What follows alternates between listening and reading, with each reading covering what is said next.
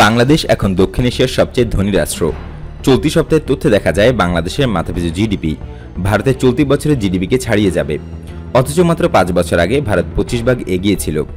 যুক্তরাষ্ট্রভিত্তিক কূটনৈতিক বিশ্বের সংবাদ মাধ্যম দ্য ডিপ্লোম্যাটের এক প্রতিবেদনে এই পর্যবেক্ষণ উঠে এসেছে।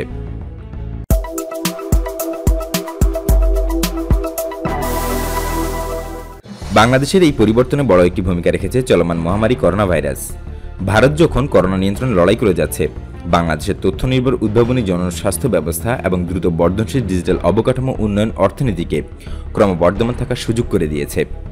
একটি দেশের সক্ষমতা যাচাইয়ের ক্ষেত্রে শুধু মুদ্রা, রফতানি এবং শাসনের দিকে নজর দেওয়ার পরিবর্তে এখন থেকে জননিরাপত্তা, সক্ষমতা ও জাতীয় সুরক্ষার মতো গুরুত্বপূর্ণ বিষয়গুলোকেও প্রাধান্য দেওয়া হবে।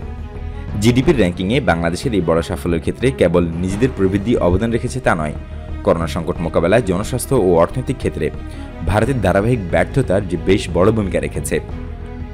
মহামারীর মধ্যে একটি দেশ কীভাবে তার অর্থনৈতিক স্রোতকে স্বাভাবিক রাখতে পারে, তার একটি উদাহরণ চীন।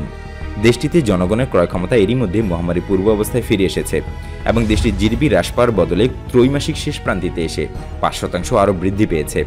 তবে চীন শুধু একটি চূড়ান্ত উদাহরণ এই দেশটি ছাড়াও বিশ্বের আরও অনেক দেশ আছে যারা চলমান মহামারী করোনা ভাইরাসকে সফলভাবে সামাল দিয়ে অর্থনীতিকে স্থিতিশীল রেখেছে এবং এই দেশগুলো থেকে বিশ্বের অন্যান্য দেশগুলো অনেক কিছু শিখতে এবং ভুল ত্রুটি এড়াতে পারে।